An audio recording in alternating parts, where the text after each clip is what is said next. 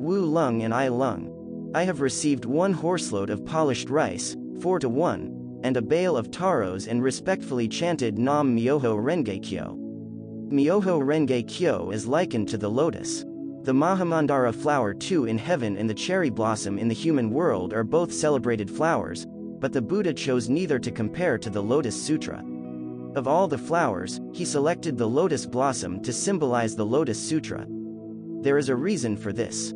Some plants first flower and then produce fruit, while in others fruit comes forth before flowers. Some bear only one flower but many fruit, others send forth many flowers but only one fruit, and still others produce fruit without flowering. Thus there are all manner of plants, but the lotus is the only one which bears flowers and fruit three simultaneously.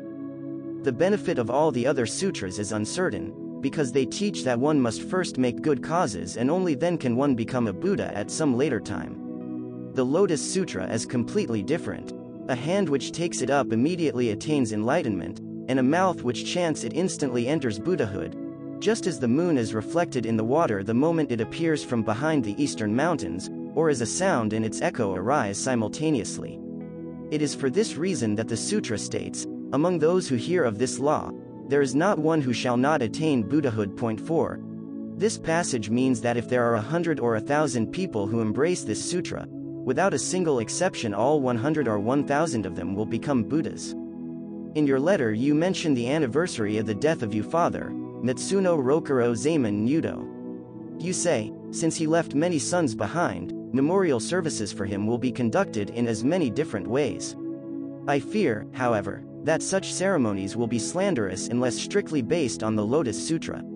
Shakyamuni Buddha's golden teaching states, the world-honored one has long expounded his doctrines and must now reveal the truth. 5 Taho Buddha gave testimony, declaring that all the teachings of Myoho Renge Kyo are true. And all the Buddhas of the Ten Directions gave credence to the sutra's verity by extending their tongues six to the Brahma heaven. To the southwest across the ocean from Japan, there is a country named China. In that country, some people believe in the Buddha but not in gods, while others believe exactly the opposite. Perhaps a similar situation existed in the early days of our own country. Be that as it may, in China there once lived a calligrapher named Wu Lung. In his art he was without peer in the entire country, just as was Tofu or Kosei 7 in Japan. He hated Buddhism and vowed that he would never transcribe any Buddhist scriptures. As he approached his end, he fell seriously ill. On his deathbed he expressed his last wishes to his son, saying, You are my son. Not only have you inherited my skill but you write with an even better hand than I. No matter what evil influence may work upon you, you must not copy the Lotus Sutra. Thereupon blood spurted like fountains from his five sense organs. Point 8 His tongue split into eight pieces, and his body fell apart in ten directions. Yet his relatives, ignorant of the three evil paths, did not realize that this was an omen that he would fall into hell. The son's name was Ai Lung. He, too, proved to be the best calligrapher in China. Obedient to his father's will, he pledged that he would never transcribe the Lotus Sutra. The king of the time was Ssu Ma 9 by name. He believed in Buddhism and held the Lotus Sutra in especially high regard. He desired to have this sutra transcribed by an excellent calligrapher, none but the most skilled in all the country so that he could have a copy of his own. So he summoned I Lung. I Lung explained that his father's will forbade him from doing so and beseeched the king to excuse him from the task. Hearing this, the king called another calligrapher and had him transcribe the entire sutra. The result, however, was far from satisfying. The king sent again for I Lung and said to him, Since you say your father's will forbids you, I will not compel you to copy the sutra. I do insist, however, that you at least obey my command to write the titles of its eight volumes. I Lung begged repeatedly to be excused. The king, now furious, said, your father was as much my subject as you are. If you refuse to write the titles for fear of being unfilial to him, I will charge you with disobedience of a royal decree. In this way the king repeated his strict order. I Lung, though unwilling to be unfilial, realized that he could no longer disobey the royal command, so he wrote the titles, of the eight volumes, ten of the Lotus Sutra and presented his work to the king. Returning home, I Lung faced his father's grave and, shedding tears of blood, reported, The ruler commanded me so strictly that, against your will, I wrote the titles of the Lotus Sutra. In his grief that he could not escape the offense of being unfilial, he remained by the graveside for three days on end, fasting until he was on the verge of death. At the hour of the Tiger 11 on the third day, he was almost dead and felt as if he were dreaming. He looked up at the sky and saw a heavenly being, who looked like Taishaku in a painting and whose multitude of followers filled both heaven and earth. I Lung asked him who he was.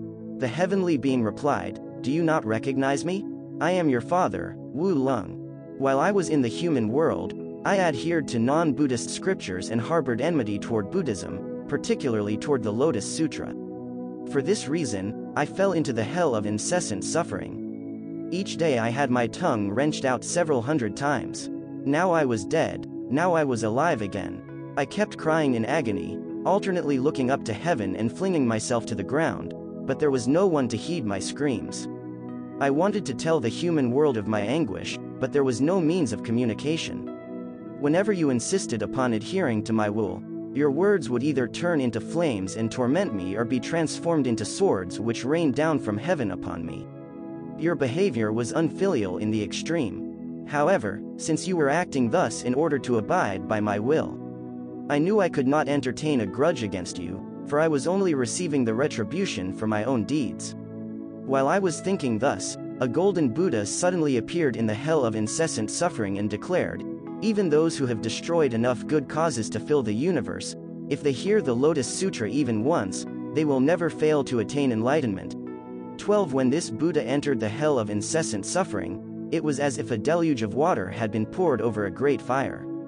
As my agony subsided a little, I joined my palms together in prayer and asked him what kind of Buddha he was. The Buddha replied, I am the character Myo, one of the 64 characters which compose the titles of the eight volumes of the Lotus Sutra, which your son, I Lung, is now writing. As eight characters form the title of each of the eight volumes, 13 a total of 64 Buddhas appeared and shone like 64 full moons, and the utter darkness of the hell of incessant suffering was instantly transformed into a dazzling brilliance. Moreover, in accordance with the principle that any place is, without changing its characteristics, in and of itself a Buddha land. 14 The hell of incessant suffering immediately became the capital of eternally tranquil light. 15 I as we LL as all the other inmates became Buddhas seated on lotus blossoms, and we are now ascending to the inner court of the Tushita heaven. 16 This I am reporting to you before anyone else. I Lung said, It was my hand that wrote the titles. How could you have been saved? Moreover, I did not write them with sincerity. How could it possibly have helped you? His father replied, How ignorant you are. Your hand is my hand, and your body is my body. Your act of writing characters equals my doing so. Although you had no faith in your heart, you nevertheless wrote the titles with your hand. Therefore, I have already been saved. Think of a child who sets fire to something and, without the least intention of doing so, causes it to be burned. The same holds true with the Lotus Sutra. If one professes faith in it, he will surely become a Buddha, even though he may not expect it in the least. Now that you understand this principle, never slander the Lotus Sutra. However, since you are among the laity, you are in a better position to repent of my past slanderous words, no matter how grave they may have been. I Lung reported all this to the king. The king said, My wish has been answered with splendid results. From then on, I Lung basked increasingly in the royal favor, and the entire populace of the country came to revere the Lotus Sutra. The late Goro 17 and Lord Matsuno were, respectively, your son and father. You are the Lord's daughter. I believe, therefore, that he must at this very moment be in the inner court of the Tushita heaven. Hoki Bo 18 will explain this to you. Since I wrote in haste, it was impossible to furnish details. With my deep respect, Nichiren the 15th day of the 11th month. Background Nichiren Daishonin wrote this letter on November 15, 1281, to Ueno Ama Gozen, the mother of Nanjo Tokimitsu, who later donated part of his estate to help Nikko Shonin establish Th Head Temple, Taiseki-ji. The Daishonin was 60 years old when he sent this letter acknowledging the offerings Ueno Ama Gozen had made to commemorate the anniversary of the death of her father, Lord Matsuno Rokuro Zaman Nudo. First, in an analogy with the lotus flower, the Daishonin explains the superiority of the Lotus Sutra over all other sutras in terms of its teaching of the simultaneity of cause and effect in attaining Buddhahood. Then, citing the story of the renowned calligraphers in ancient China, Wu Lung and I Lung, who were father and son, the Daishonin assures Ueno Ama that when the child embraces faith in the Lotus Sutra, the parent will be able to attain enlightenment.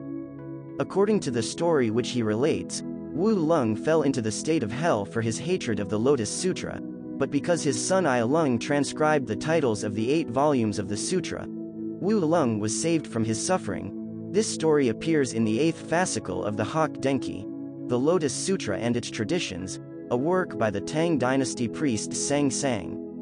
Ueno Ama Gozen's husband was Nanjo Hai Shichiro, the steward of Ueno village in Suruga province.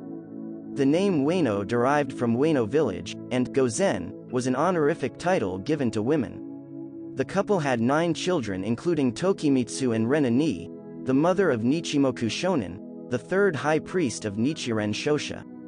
Lady Ueno's husband died in 1265 while she was pregnant with their last son.